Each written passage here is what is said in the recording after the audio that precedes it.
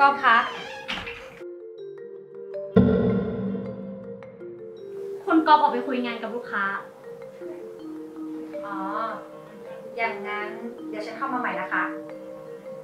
เดี๋ยว ช่วยไปเทน้ำให้ฉันสักแก้วสิ ได้ค่ะ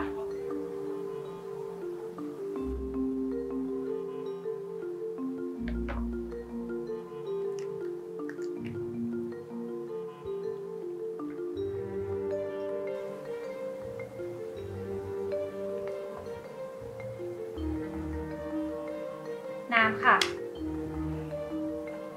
เดี๋ยว ผลไม้เนี่ย แกช่วยเอาไปปอกมาให้ฉันหน่อยสิ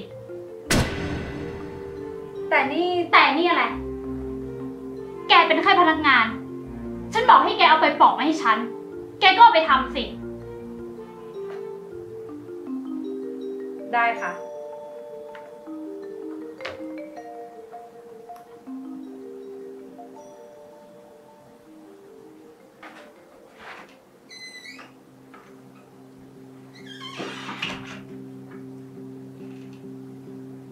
นี่ค่ะผลไม้ ฉันปอกให้เรียบร้อยแล้วนะคะ งั้นเดี๋ยวดิฉันขอตัวก่อนนะคะ เดี๋ยว ยังไปไม่ได้ นั่นแฟมอะไรอะ อ๋อ นี่เป็นแฟ้มการอนุมัติการสั่งซื้อของบริษัทเราค่ะ พอดีมีปัญหานิดหน่อยเลยจะให้ผู้จัดการก๊อฟแก้ไขให้หน่อยค่ะ ผิดพลาดตรงไหน เอาไว้ให้ฉันดูหน่อยสิ ไม่ได้นะคะ เอกสารนี้ผู้จัดการดูได้แค่คนเดียวค่ะ นี่แก เป็นแค่พนักงาน กล้าดียังไง มาพูดแบบนี้กับฉัน พนักงานในออฟฟิศเนี้ยยังไม่กล้าปากดีกว่าฉันเลย แกรู้ไหมว่าโดนไล่ออกไปกี่คนละ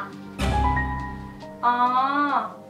ที่พนักงานโดนไล่ออก ก็เพราะเหตุผลนี้เองเหรอคะ สามีคุณนี่เก่งไม่เบาเลยนะคะ ก็แน่นอนสิ นอกจากท่านประธานแล้ว สามีของฉันก็มีอำนาจใหญ่สุด แต่คนอย่างเธอ คงจะอยู่ภายใต้อำนาจของสามีฉันสินะอ๋อแต่สามีของฉันอยู่ภายใต้อำนาจของฉันนะใครจะอยู่ ใครจะไป แค่ฉันเอ่ยปากคำเดียว สามีฉันก็ปฏิบัติตามที่ฉันพูดละขนาดนั้นเลยเหรอคะ ก็ใช่นะสิ ถ้าแกยังอยากทำงานอยู่ที่นี่นานๆ แกก็แค่ปฏิบัติดูแล เอาใจฉัน เพื่อจะได้รับความเห็นใจจากฉันบ้างไง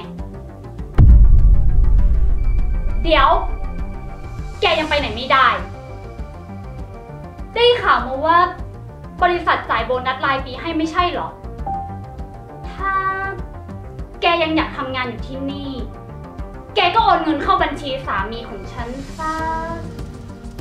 10,000 บาทสิ เพื่อปูทางอำนวยความสะดวกในการทำงานของแกไง นี่คุณพูดเพ้อเจ้ออะไรของคุณฮะ มันจะไม่มากเกินไปหน่อยหรอ นี่ แกกล้าดียังไง มาพูดกับฉันแบบนี้ คนมาก็ดีละ มาช่วยไล่พนักงานคนนี้ออกไปเลยนะ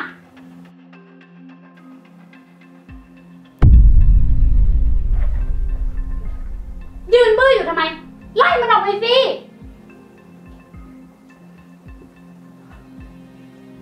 ขอโทษด้วยนะครับ คุณไมค์คุณอะ หยุดพูดได้ละ ขอโทษคุณไมค์เขาเดี๋ยวนี้ ขอโทษทำไม มันก็แค่พนักงาน คุณจะทำอะไรของคุณเนี่ย หยุดพูดได้ละ ถ้าคุณไม่หยุดพูด ผมแย่แน่ คุณไมค์ครับ ผมต้องขอโทษแทนภรรยาผมด้วยนะครับ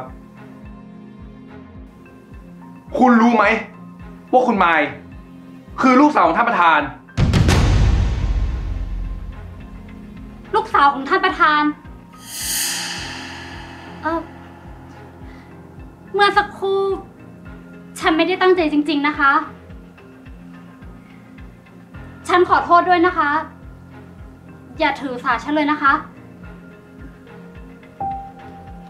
ฉันไม่ถือสาคนอย่างคุณหรอกค่ะ เพราะคุณไม่ใช่พนักงงานบริษัทนี้ ส่วนคุณก๊อฟเชิญคุณไปฝ่ายบุคคลเขียนใบลาออกซะ คุณไมค์ครับ ผมผิดไปแล้วครับ ให้โอกาสผมอีกสักครั้งนะครับ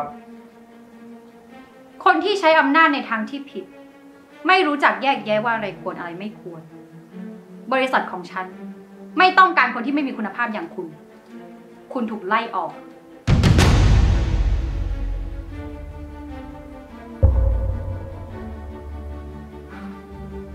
เป็นไงล่ะ พอใจคุณหรือยัง ที่ผมโดนไล่ออกก็เพราะคุณนั่นแหละ